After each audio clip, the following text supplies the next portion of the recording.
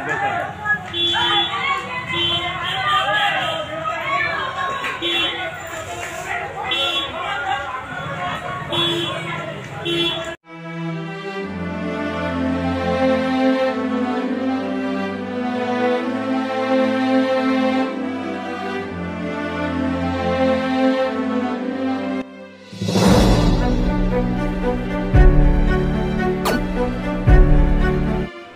नमस्कार, आदाब।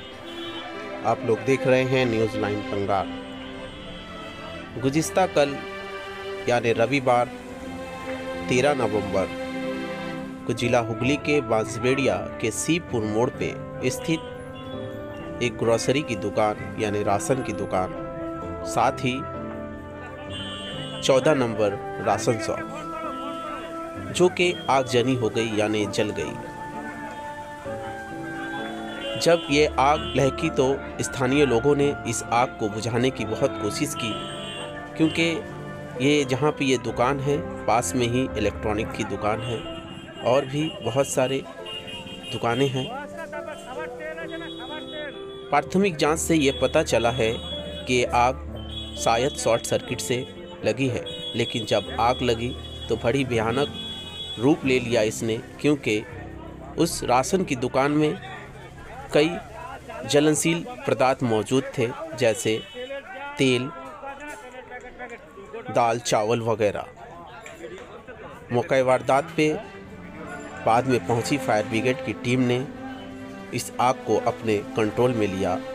जब तक कि यह आग कंट्रोल में लिया गया, तब तक दुकान में रखी चीज़ें पूरी तरह से तहस नहस हो चुकी थी। आइए देखते हैं पूरी रिपोर्ट।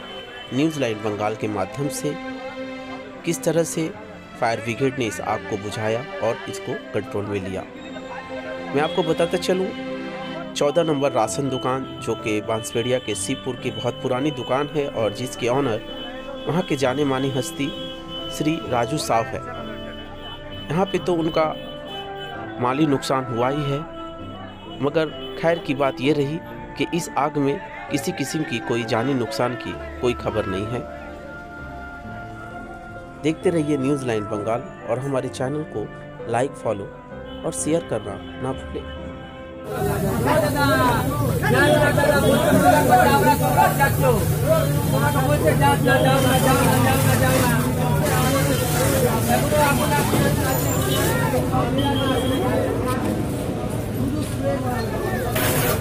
উপরে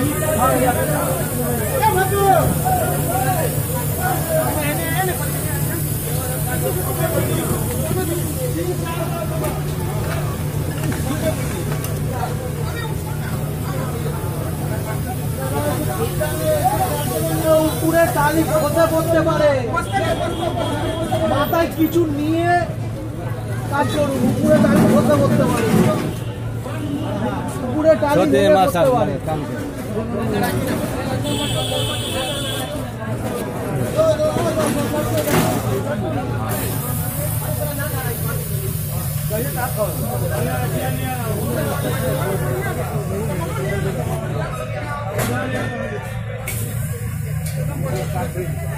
ओके।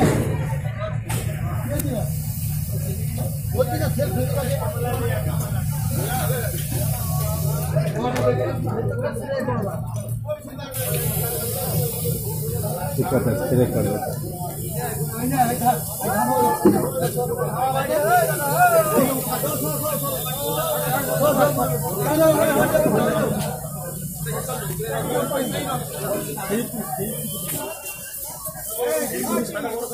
Thank you.